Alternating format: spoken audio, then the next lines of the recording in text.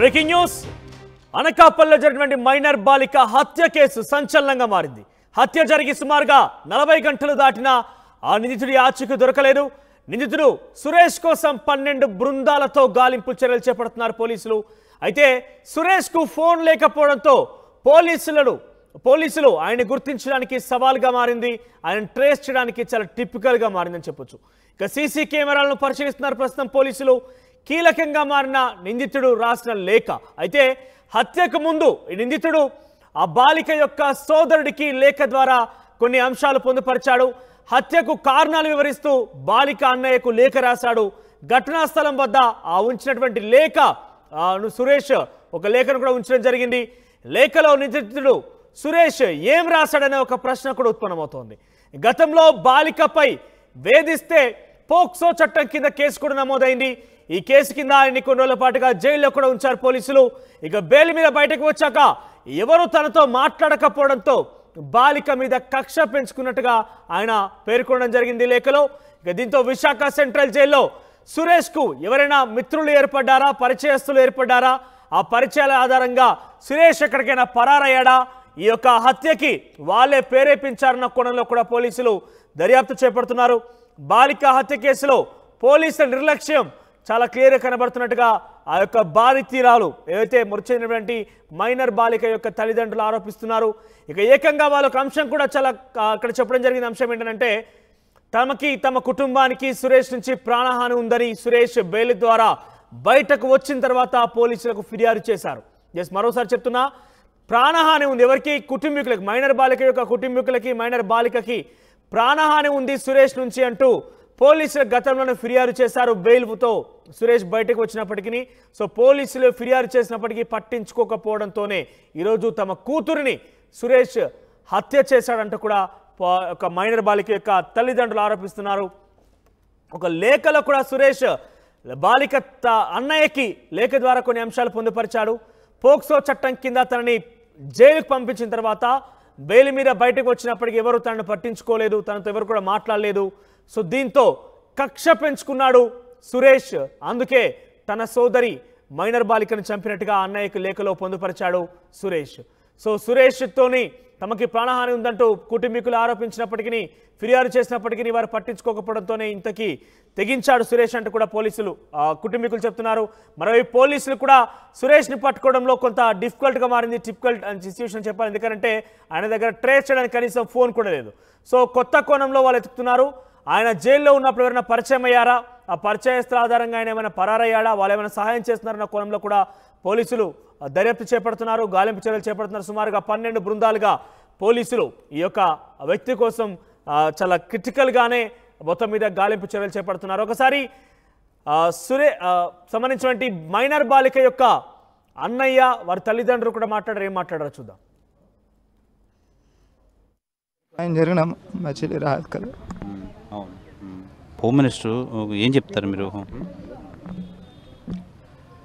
ఏం చెప్తామండి ఇంకా మన రాష్ట్ర హోమ్ మినిస్టర్ ఒక సాక్షాత్ ఒక మహిళ.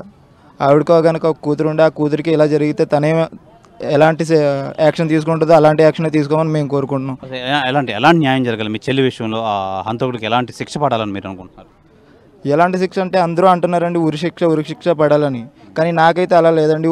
రెండు చేతులు రెండు కాళ్ళు తీసేసి కనీసం అందులో ఒక్క రెండు కళ్ళలో ఒక్కనన్నా తీసేసి వాడిని వదిలేయాలి. వాడిని నేనే పెంచుకుంటాను. ఖచ్చితంగా పెంచుకుంటాను. జీవితాంతం పెంచుకుంటానండి అప్పుడు తెలుస్తుంది ఆడికి అలాంటి ఇలా ఇలా జరిగితే ఇలా జరగాల ఇలా చెయ్యాలి అన్న ఇలాంటి ఘటన ఇంకోసారి రిపీట్ అవ్వాలన్న ఎవరికన్నా వస్తూ వణుకు పుట్టాలండి వెనులో ఈ ఫో ఈ ఫోటో చూపెడతాను వీడిని చూపెడతాను వాడికి.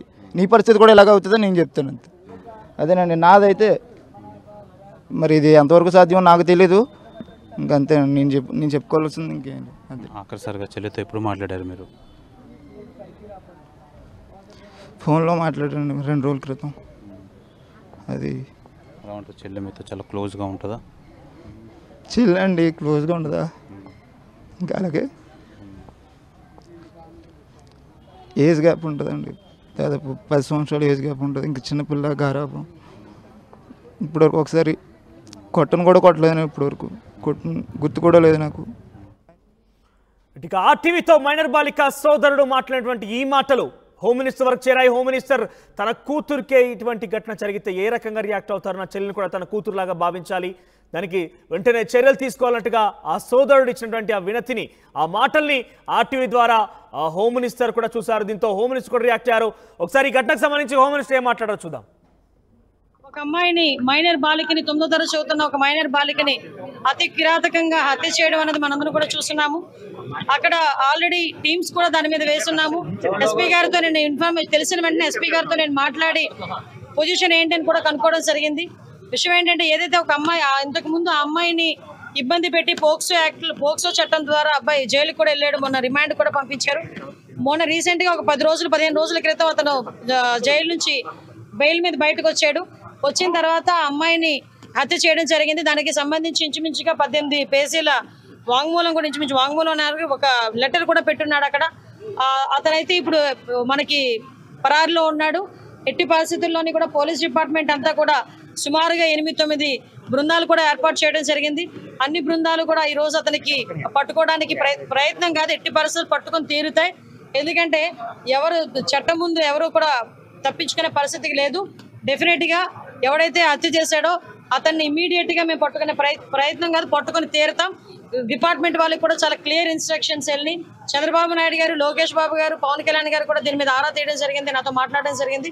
డెఫినెట్గా ఎట్టి పరిస్థితుల్లోని నిందితుడు ఎవరైతే ఉన్నాడో అతి తొందరగా వీలైతే ఈ రోజు రేపట్లోనే నిందితుడిని పట్టుకొని అరెస్ట్ చేసే పరిస్థితి బయటకు వచ్చిన కూడా పోలీసులకి కొన్నిసార్లు యా- వెనక పడుతున్నారని చెప్పేసి ఫిర్యాదు చేయడం జరిగింది? అయినా సరే పట్టించుకోలేదు.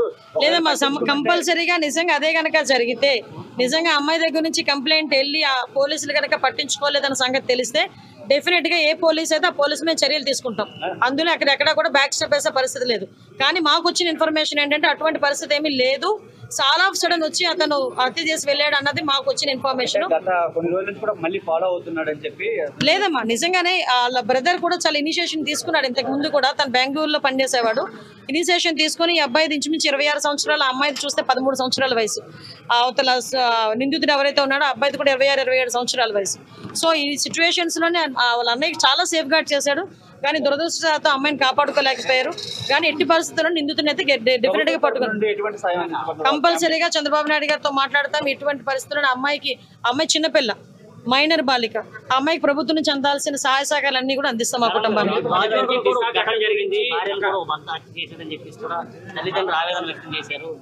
అమ్మ విషయం ఏంటంటే మేము మేము చాలా సందర్భాల్లో చెప్పున్నాము. ఇబ్బ చాలా సంఘటనలు జరుగుతున్నాయి. సంఘటనలు జరుగుతున్న సంబంధ సందర్భంలో పోలీస్ డిపార్ట్మెంట్ వాళ్ళు కూడా చాలా ఫర్మ్గా ఉన్నారు. లాస్ట్ టైం మీరు చూసారు చీరాల సంఘటన జరిగింది. చీరాల సంఘటన జరిగిన తర్వాత సుమారుగా ముప్పై ఆరు గంటల నిందితులను పట్టుకొని మేము రిమాండ్ కూడా పంపించుకోవడం జరిగింది. ఎక్కడ ఏమి జరిగినా చాలా యాక్టివ్గా పోలీస్ డిపార్ట్మెంట్ వాళ్ళు పనిచేస్తున్నారు. ఎక్కడ జరగకుండా ఉండే బాధ్యత కూడా తీసుకుంటున్నాం. ఈ వీటన్నిటికీ కూడా మూల కారణం గాంజాయి మత్తులో చాలా మంది చేస్తున్నారు డ్రగ్స్ మత్తులో చేస్తున్నారు కాబట్టి వాటిని పూర్తిగా ప్రక్షాళన చేయడానికి ఒక కేబినెట్ సబ్ కమిటీని కూడా ఏర్పాటు చేసుకొని మొన్ననే మేము టాస్క్ ఫోర్స్ కూడా ఏర్పాటు చేయడానికి కూడా సిద్ధంగా ఉన్నాం. ఒక టోల్ ఫ్రీ నెంబర్ అన్ని కూడా ఏర్పాటు చేస్తాం. దిశా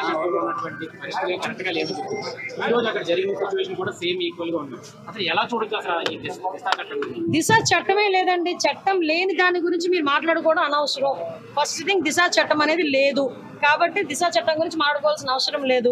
ఇప్పుడున్న చట్టాలని బలోపేతం చేసుకుని మనం ఫర్దర్గా ఎటువంటి ఇబ్బంది లేకుండా చూసుకునే బాధ్యత తీసుకుంటాం. న్యాయ సలహాలు కూడా మేము న్యాయ నిపుణుల సలహాలు కూడా మేము తీసుకుంటాం. ఇక హోమ్ మినిస్టర్ అనిత స్పందించిన తీరు కూడా చూసాం. ప్రభుత్వం విషయంలో చాలా సీరియస్గా ఉంది. ఎట్టి పరిస్థితుల్లో కూడా స్టెప్ బ్యాక్ చేసే అవకాశం కూడా లేదంటూ చాలా సీరియస్గా ఉన్నారు. సో చంద్రబాబు పవన్ కళ్యాణ్ ఇప్పటికే తనతో ఫోన్లో సంప్రదించారు. ఎట్టి పరిస్థితుల్లో కూడా నిందితుడిని పట్టుకుంటామంటూ కూడా చెప్పారు. గతంలో చీరాల ఈ ప్రభుత్వం ఏర్పడిన తర్వాత చీరాల ఘటనకు సంబంధించి ఉద్దేశిస్తూ కూడా మాట్లాడడం జరిగింది.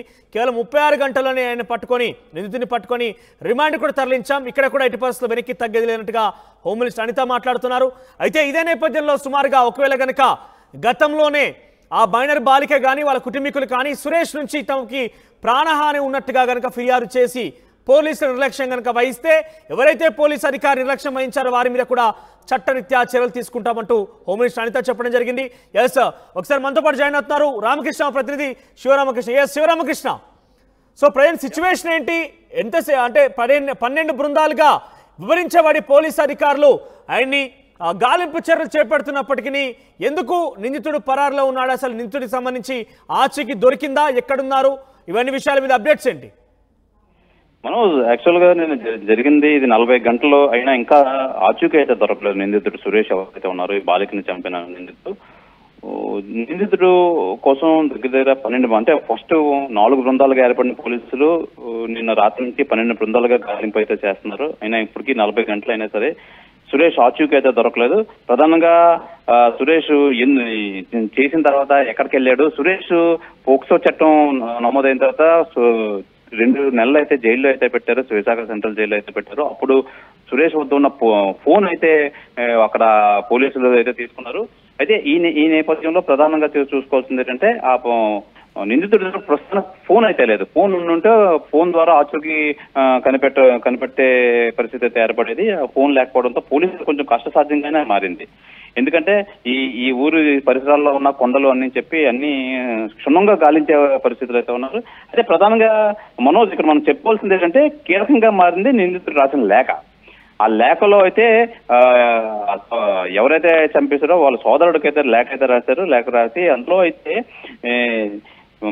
నేను ఎవరినైతే ప్రేమించానో ఆ బాలికని హత్య చేసిన తర్వాత నేను కూడా ఆత్మహత్య చేసుకుంటానని చెప్పి ఆచారని చెప్పి అయితే వార్తలు అయితే బయటకు వస్తున్నాయి. ఏదైనప్పటికీ ఆ లేఖ అయితే పోలీసులు ఇప్పటికీ బయట పెట్టలేదు. ఆ లేఖ ఆధారంగా అయితే వీళ్ళైతే ఈ కేసుని కేసుని అయితే ఇన్వెస్టిగేషన్ చేస్తున్నారని చెప్పాలి మనోజ్. శివరామకృష్ణ అంటే గతంలో కూడా ఈ కుటుంబీకులు ఎవరైతే మైనర్ బాలిక కుటుంబీకులు కావచ్చు తన సోదరుడు కావచ్చు సురేష్ నుంచి తమకు ప్రాణహాని ఉందంటూ కూడా ఫిర్యాదు చేశారన్నట్టుగా ఏదైతే కుటుంబీకులు ఆరోపిస్తున్నారో ఆ కుటుంబులు కుటుంబీకులు చెప్తున్నారు. దానిలో వాస్తవం ఎంత ఎందుకంటే హోమ్ మినిస్టర్ చెప్పిన ప్రకారంగా తమకు ఎటువంటి సమాచారం లేదు. మాకున్నటువంటి ఇన్ఫర్మేషన్ కేవలం వారు అంతా కూడా వాళ్ళ ప్రొటెక్షన్లో ఉన్నారు తప్ప ఎట్టి పరిస్థితుల్లో కూడా తమకు ఫిర్యాదు చేయలేదు. పోలీసు అధికారులకి ప్రాణహాని ఫిర్యాదు చేయలేనట్టుగా చెప్తున్నారు. సో కుటుంబీకులు ఏమంటారు? నిజంగానే ఫిర్యాదు చేశారా? ప్రాణహాని కోసం విషయం hundred percent. Hundred percent Manoj ఈ విషయంలో అయితే వాస్తవమే ఇది. కంపల్సరీగా పోక్సో చట్టం కింద సురేష్ని అరెస్ట్ చేసి రెండు నెలల తర్వాత బెయిల్ మీద బయటకు వచ్చాడు. బెయిల్ మీద బయటకు వచ్చిన తర్వాత కుటుంబీకులు అయితే ఏ, రాంబల్ పోలీస్ స్టేషన్లో అయితే వాళ్ళకి ఇంటిమేట్ అయితే జరిగింది. సురేష్ అయితే బయటకు వచ్చాడు. మాకు ఇది ప్రాణహాని ఉంది. మా అమ్మాయి మళ్ళీ వేధిస్తే వేధించడం మొదలు పెడుతున్నాడు చెప్పి చెప్పినా సరే పోలీసులు అయితే పట్టించుకోపోవడం వల్లే ఇది ఈ హత్య దారితీస్తుందని ఈ విషయంలో ఒకటిగా అయితే మనం చెప్పుకోవచ్చు. ఏదేమైనా పోలీసులు నిర్లక్ష్యం. పోలీసుల పోలీసులు తీరు ఎలా ఉందంటే చేతులు కాలిన తర్వాత ఆకులు పట్టుకునే పరిస్థితిగా ఆ సామెత చెప్పినట్టుగా తయారైంది ఇక్కడ పరిస్థితి. వీళ్ళు ఎంత చెప్పినా సరే పట్టించుకోలేదు. ఇప్పుడు నిజం హత్య అయిన తర్వాత నాలుగు బృందాలు పన్నెండు బృందాల కింద శోధిస్తున్న ఆ, తిరుగుతున్నాము ఇప్పుడు దొరకలేదని చెప్తున్నారు. ఏదైనా ఇందులో పోలీసు నిర్లక్ష్యం అయితే మట్టుకి స్పష్టంగా అయితే కనిపిస్తుంది మనకు ఏదేమైనా వాళ్ళ తల్లిదండ్రులు వాళ్ళ వాళ్ళ సోదరుడు కూడా చెప్పాడు పోలీసులకు. అంటే ప్రతిసారి లిఖితపూర్వకంగా కేసు కంప్లీట్ అయితే చేసి ఇవ్వలేరు కదా. వీళ్ళు ఓవరాల్గా అయితే వీళ్ళు చెప్పడం అయితే జరిగింది. దాన్ని బేస్ చేసుకుని వాళ్ళు అయితే వాళ్ళు పట్టే పట్టించుకోలేదు. పట్టించుకోకుండా ఇప్పుడు హత్య జరిగిన తర్వాత మాకేం కంప్లైంట్ రాలేదని చెప్పి మాట మార్చే పరిస్థితులు అయితే పోలీసులు తీరు అయితే మనం చూస్తున్నాం మనోజ్. రైట్ శ్రీరామకృష్ణ